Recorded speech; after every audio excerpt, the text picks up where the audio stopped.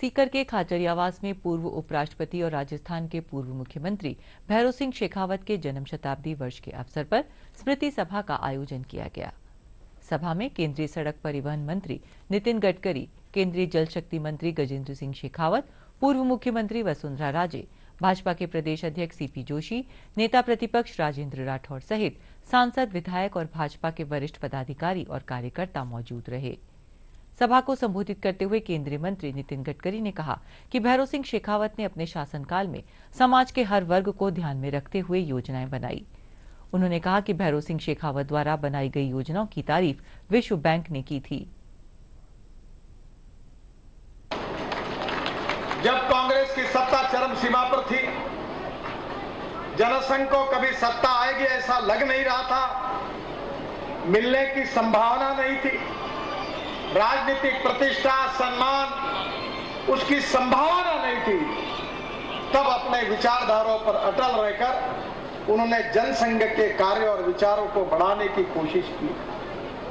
उनकी सबसे बड़ी विशेषता यह रही कि उनके मुख्यमंत्री के पद के कार्यकाल में उन्होंने अनेक अच्छे कार्यों का शुभारंभ किया। राष्ट्रवाद, ये राष्ट्र सर्वोपरि है। और राष्ट्र के लिए समर्पित रूप से हम काम करेंगे।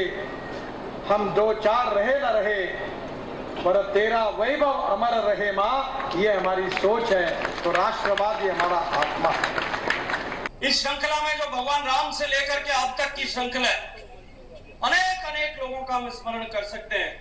लेकिन आज, जब श्रद्धेय भैरव सिंह जी शेखावत साहब की जन्म शती का अवसर है और हम उनकी पुण्यतिथि पर उनको श्रद्धांजलि देने के लिए यहाँ सब एकत्रित आए मैं ये मानता हूँ कि वो जो अध्याय है, जिस अध्याय में इतने लाखों, हज़ारों लोगों के नाम लिखे गए हैं, उस अध्याय में एक और नाम आज स्वर्णाक्षरों से अंकित हो गया है। एक बहुत बड़ी विशाल का प्रतिमा आदरणीय शेखाव साहब की चित्तौड़ लोकसभा में भी लगी है, जो हम सब कार्यकर्ताओं को प्रेरणा देने का काम करती है। एक ऐसा व्यक्तित्व और कृतित्व जिन्होंने जिनको शब्दों में आंकना बहुत मुश्किल है।